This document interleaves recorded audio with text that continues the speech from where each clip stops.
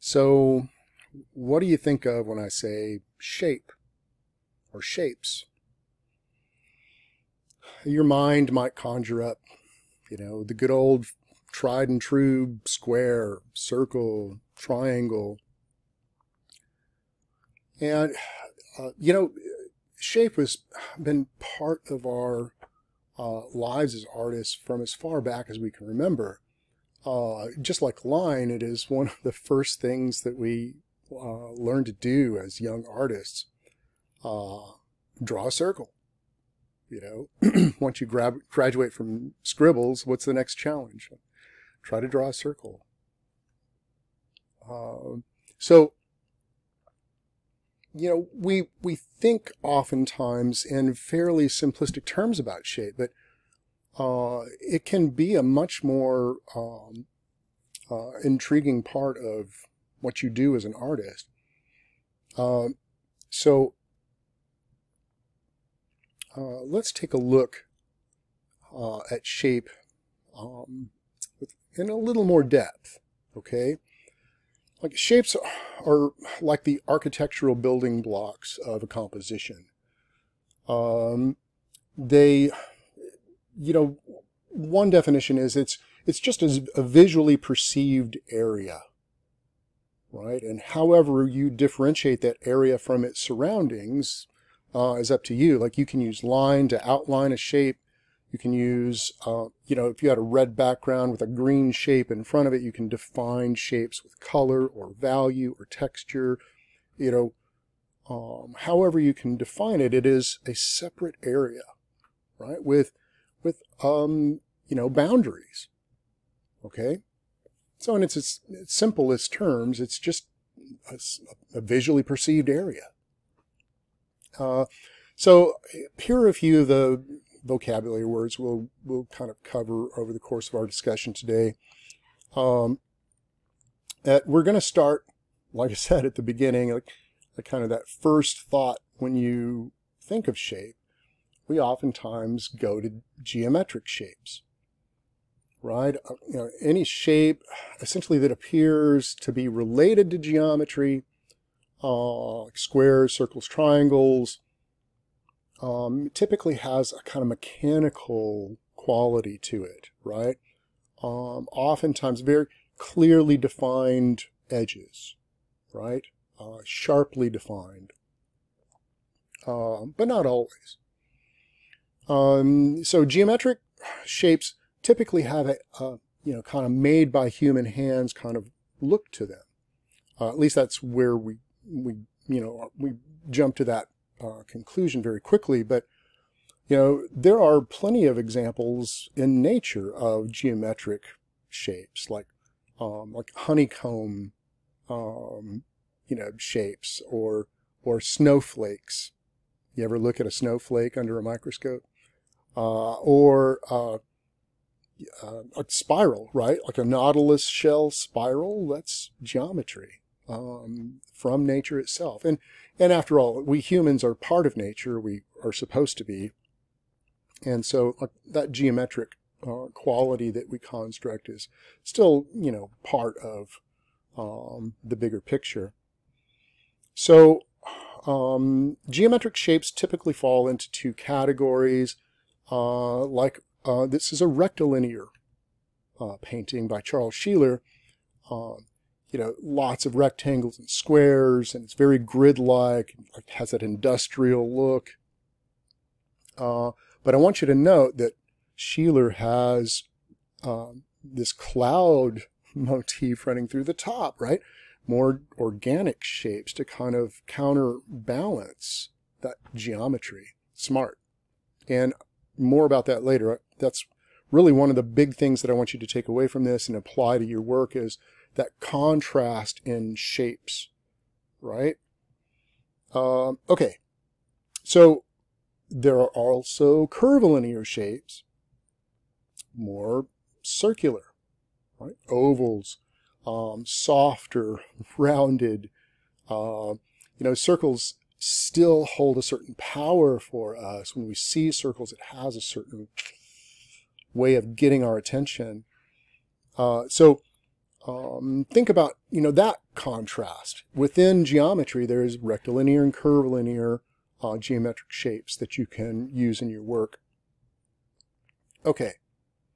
Um, so here's an example of uh, another rectilinear piece by O'Keeffe, right?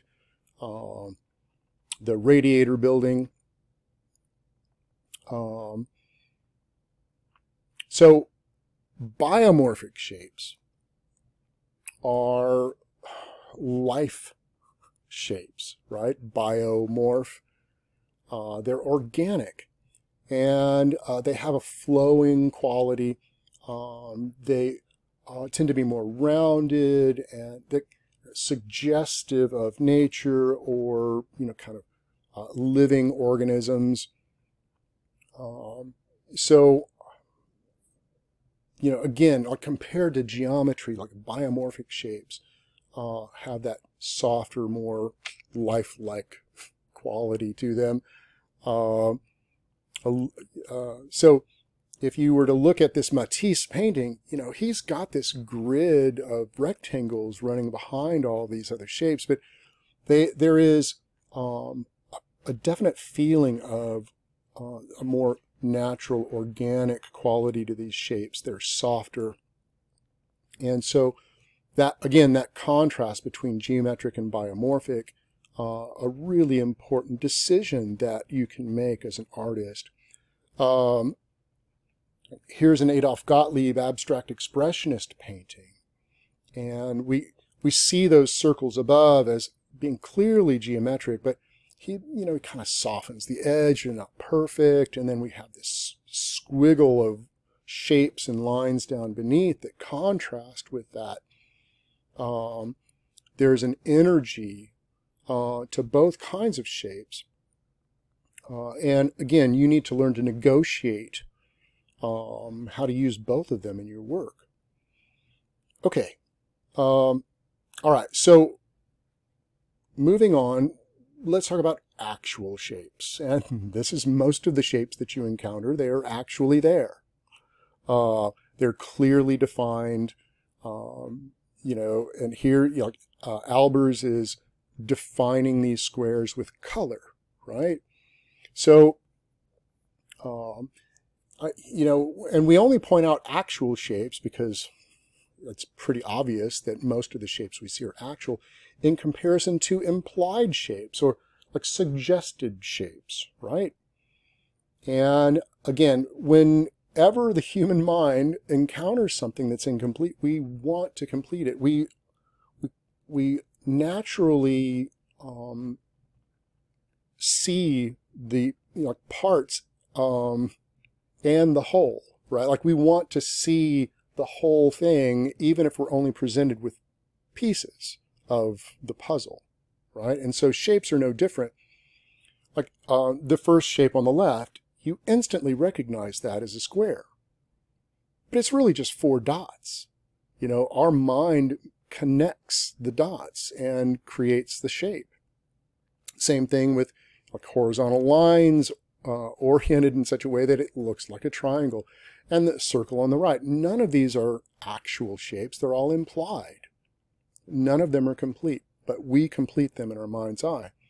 And again, oftentimes giving somebody only part of a shape creates a puzzle that they have to um, solve even if they don't know that they're doing it, it's it's more intriguing. So oftentimes when you let shapes come off the edge of the picture plane, you're creating a, a more intriguing image when you do that, right? Uh, if you only give somebody part of the story and, and it's up to them to fill in the blanks, uh, it's, you know, it's, going to engage the viewer. Uh, here, we've got these like three Pac-Man shapes, uh, or pizzas with one slice taken out. Uh, but we, again, clearly jump to the negative space and see the triangle that's implied there, right? You get the idea.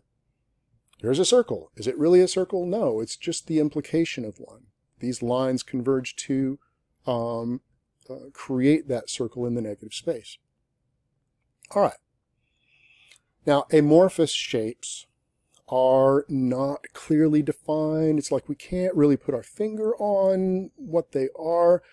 Um, but we we know a shape when we see it, but we don't always know what the heck is going on there. And so these are more ambiguous, um, you know, mysterious shapes. Like here's the, you know, Impressionist master Monet. And unless you went and, and like read the placard next to this in museum and, re, you know, and figured out that it was water lilies, if you'd just never seen one of these before and looked at it on the wall without having any other information, you'd be hard pressed to really figure out what was going on. Uh, I mean, he gives you clues, but he kind of delights in not giving you a very clearly defined shape with clearly defined edges, right? Again, more intriguing. All right. All right, so we need to talk about uh, flat shapes and planar shapes and decorative versus plastic. Um, and this has to do with, with space right? How shape and space interact with each other. Uh, so flat shapes stress two-dimensional surface. Uh, and planar shapes, you can take that same flat shape and kind of tilt it, right? Uh, to create the suggestion of space. And, and you can overlap things, right? To, again, uh, create the illusion of depth. Uh, so, like here's some Ellsworth Kelly shapes, clearly just meant to be flat. They're not trying to do anything other than uh, kind of announce their presence on a flat surface. Okay, and that has a certain charm, right? There are times when you need that. Uh, and here's Victor Vasarely uh, taking similar shapes and tilting them and suggesting space, like either suggesting volume, or depth, right? Um, so flat versus planar. Kind of interesting. Now, going back to flat, we oftentimes in design talk about um, decorative elements. And, and it's not just like, oh, I'm going to decorate this. Uh, it's not about interior decoration necessarily. It's about flat surfaces. Uh, a decorative shape is a flat shape, again, that um, calls attention to that two-dimensional surface, okay? It stresses flatness. All right, so here's a Matisse uh, stained window, flat as a pancake. Colorful, beautiful, active, but flat shapes. There's no attempt at illusion here, right? Uh, now, on the flip side of decorative is plastic. And here, you know, the artist is trying to create the illusion of depth on a two-dimensional surface. That's usually done through light and shadow, the play of highlights and shadows on a shape. Um, that's what we call a plastic shape, right? Uh, so, here's a Caravaggio painting. The shapes that make up this figure, he has um, a clear light source uh, that uh, hits these shapes. He uh, accentuates those highlights and creates cast shadows. Uh, and the result is a sense of deep space. Even though this is a, a flat canvas, we see it as having deep space, right? Um, so, um, highlight and shadow on a shape, plastic. So plastic shapes can suggest volume. Like here, just like planar shapes, if you angle a shape, but then add a little bit of highlight, a little bit of shadow, you can suggest the containment of space, right? Um, interesting. You can also suggest weight, right? Uh, mass. If you, um, you know, arrange the shapes just right, and again, use a little bit of highlight and shadow, you can suggest like, um, that a shape have mass, has weight. Like the figures here, we feel through um, uh, Titian's use of light and shadow, each one of these, you know, figures has mass. All right. Equivocal shapes. What are these? Well, equivocal if you think about the meaning of the word vocal, we know it's vo like voice, right? Uh, and equi from the Latin root, if you go far enough back, you'll find, you know, equal. Um, and in that is the implication that there are there's more than one, right? And in this way, there's more than one voice, there's more than one meaning, more than one relationship. Okay? So you can have a single shape that has multiple ways of being interpreted. Uh, or sometimes it's a relationship of a couple of shapes that um, equivocates. It, there's more than one voice at work. There's more than one way to interpret it. Make sense? So, uh, you've seen this before. It's a vase, right? Or is it two faces, right? Uh, it's equivocal. This one, if you look at it long enough, will drive you crazy. Um, there's that play between positive and negative. You know, I'm not sure which is which in this thing. This one really drives me crazy. I don't know about you guys, but it, it'll drive me nuts if I look at it long enough, so I'm switching the slide. Uh, this is a, a good old, you know, a good old fashioned um, mind bender. Uh, there is, uh, there are shapes here that suggest a young woman and shapes that suggest an older woman, right? Do you see both? Uh, like if you look at, uh, like if you see the young woman, uh, look at her uh, cheek and chin and her jawline. If you then stop and think about that same shape as forming the nose of the old woman, right? And if you see the old woman, reverse that anyway, like the old woman's face is much larger than the young woman's face. So uh, pause the video and figure it out if you don't see both of them. Okay? Equivocal. That's your $5 word for today. All right, so objective shapes and subjective shapes. And this really goes back to uh, that notion of um, realism versus abstraction, right? Um, if a shape is objective, we can kind of agree on it. Like we recognize it from nature pretty quickly, right? And so we can be objective about these things, or at least we can agree to a certain point. But it, as soon as we kind of start using our imagination and turn things over to the life of the mind, then we can start to be more subjective in our approach to art. Uh, and, you know, we don't always agree on seeing things the same way. And so, again, when shapes start to be born more of the mind than our visual reality, that's subjective.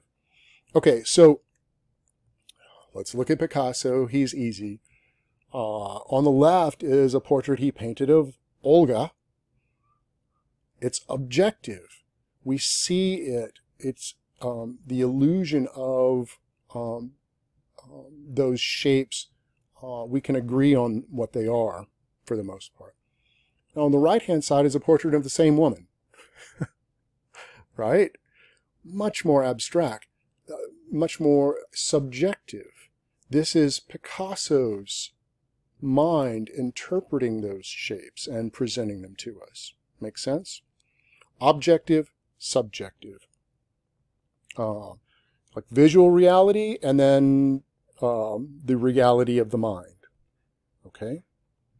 Uh, here's another kind of interesting play on subjective and objective. This is Dorothea Tanning, a surrealist painter. Uh, and a lot of her work blurs the line between, you know, illusionistic or objective shapes and more subjective shapes. Like there are like there are elements here that I can pick out. There's like horse and there's um, you know, uh, people, um, and there are wings. That, like, these are kind of recognizable objective shapes. And then there are shapes that just disintegrate into her imagination uh, and become subjective. So uh, the surrealists would oftentimes blur the line between subjective and objective, right? In the same piece.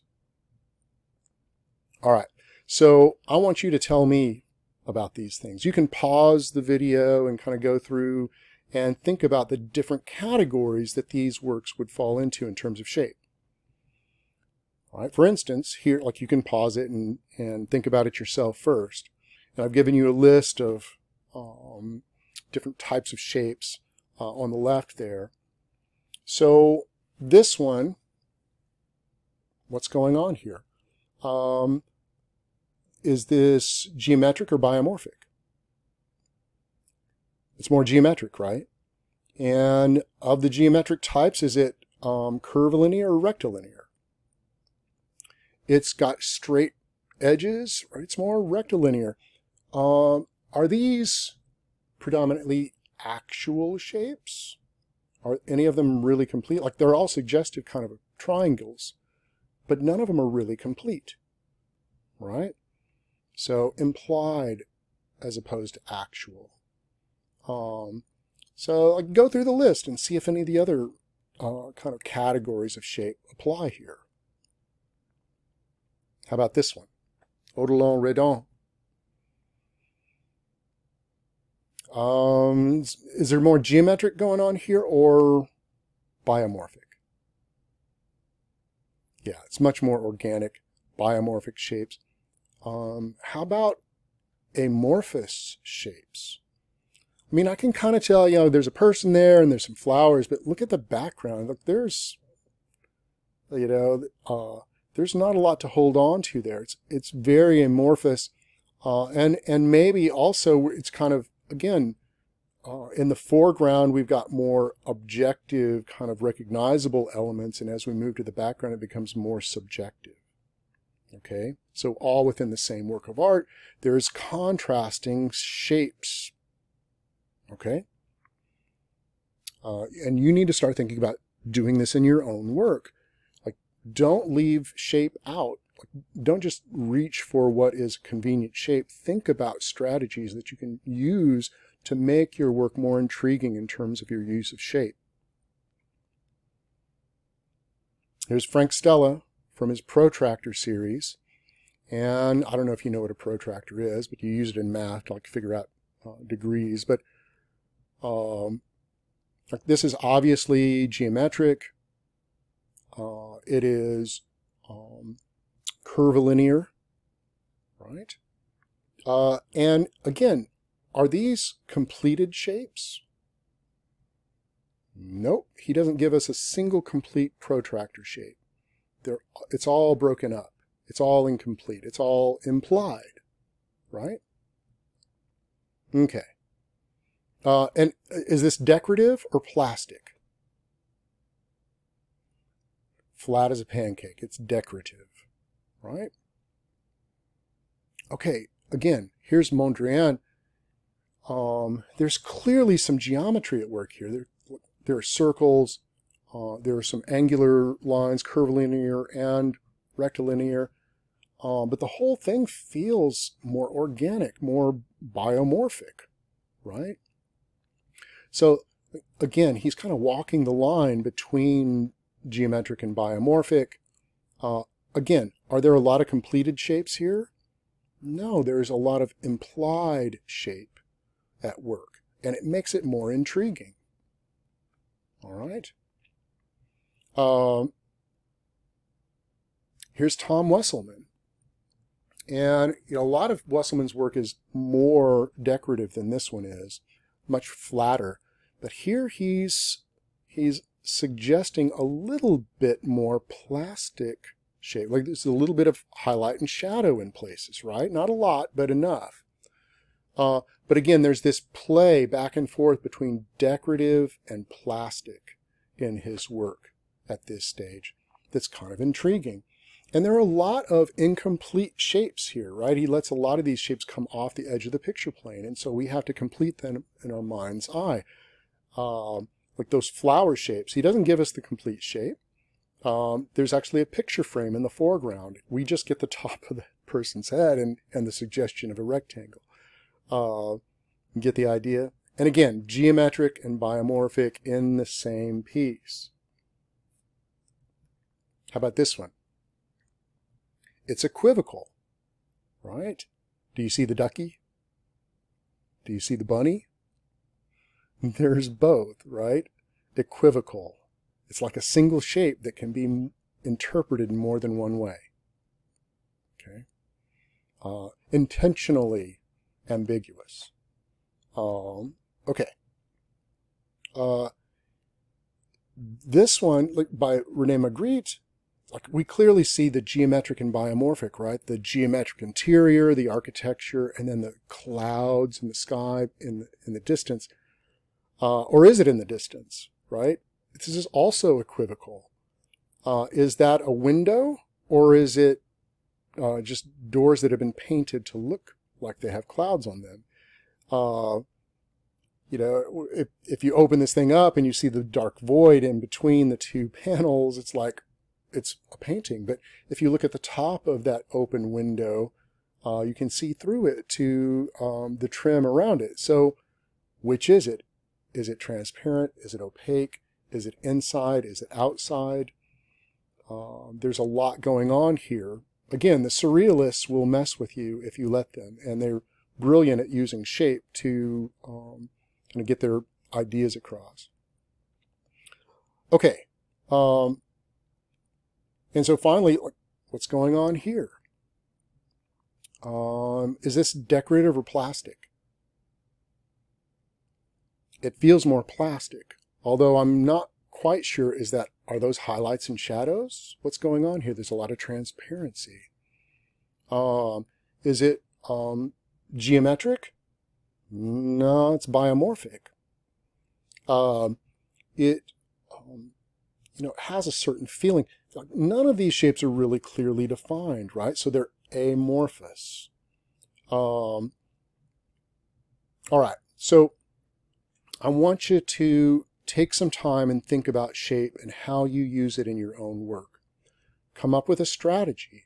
Remember, the elements and principles of design, like you should have that printed out and keep it right next to where you work uh, and consult with that list, like uh, the elements, the building blocks, the principles, the guiding organizational structure of your design endeavors.